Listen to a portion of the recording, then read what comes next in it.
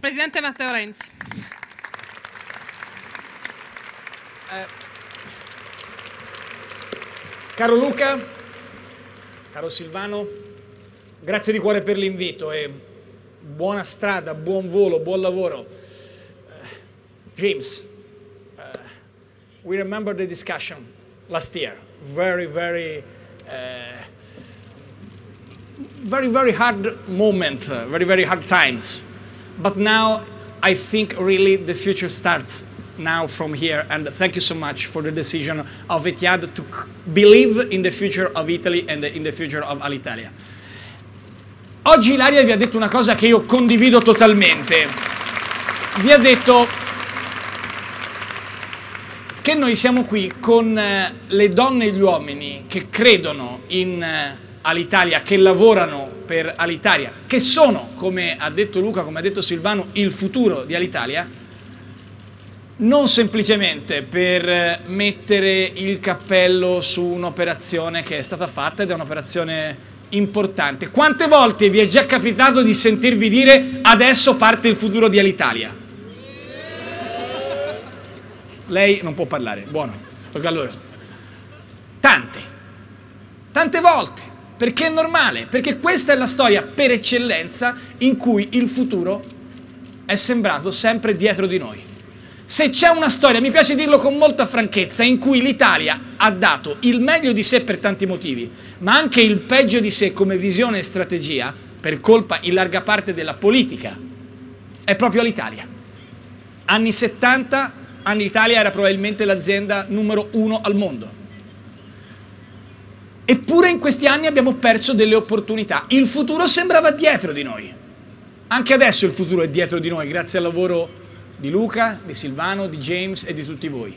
Ma quello che veramente sta cambiando è che per la prima volta il progetto è un progetto che guarda in modo non episodico, non strumentale, alla più grande opportunità che ha l'Italia che è quella di essere noi stessi. E allora finisco molto rapidamente, ci sono due Italie davanti a voi. C'è chi può dire Alitalia è il simbolo perché in questi anni abbiamo perso l'occasione della vita e quindi dobbiamo lamentarci. L'Italia del pianto e del rimpianto. O se iniziamo a fare rimpianti sul nostro passato non finiamo più, eh. Noi abbiamo un sacco di occasioni che abbiamo perduto.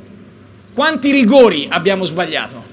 Quante occasioni abbiamo buttato via? E quindi chi sta a lamentarsi dalla mattina alla sera ha un suo perché, ha delle giustificazioni, può dire, eh mamma mia, però se qui avessimo fatto in un altro modo sarebbe andata meglio. Certo, è vero.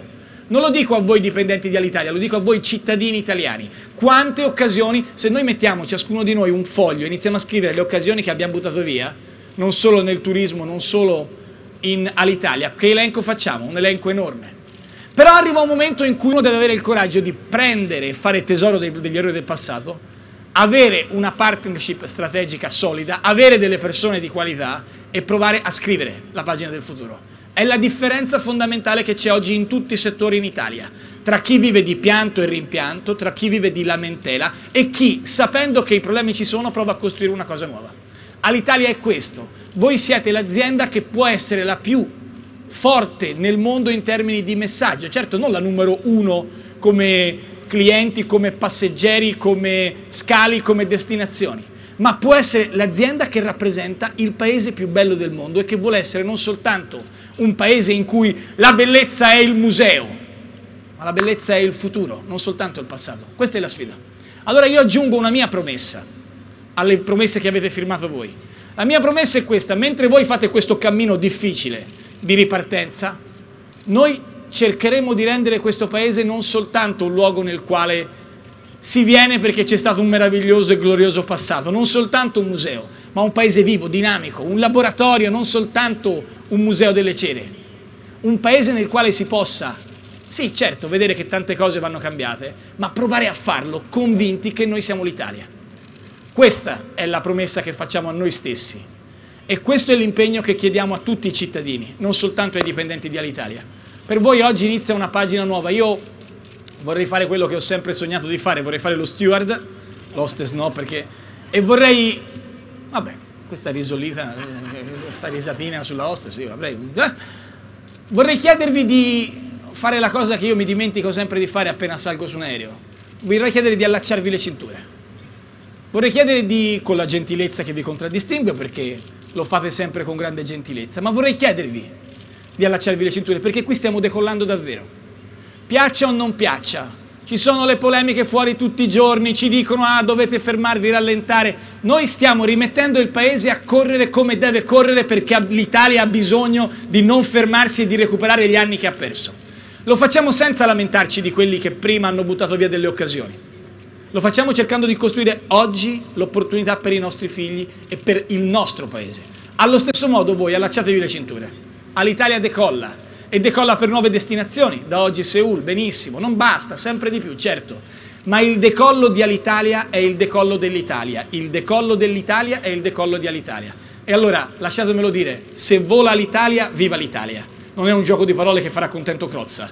È l'unica vera chance che voi avete. Rappresentate il paese più bello del mondo. Dovete tornare a fare l'unica cosa necessaria, crederci e impegnarsi, perché è finito il tempo in cui anche in questo settore bastava lamentarsi.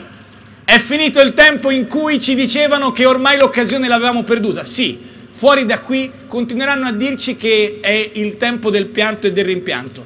Io dico che è il tempo in cui lavorando duro l'Italia riprende il volo. Buon lavoro, buon volo, buona strada a tutti voi. Ale.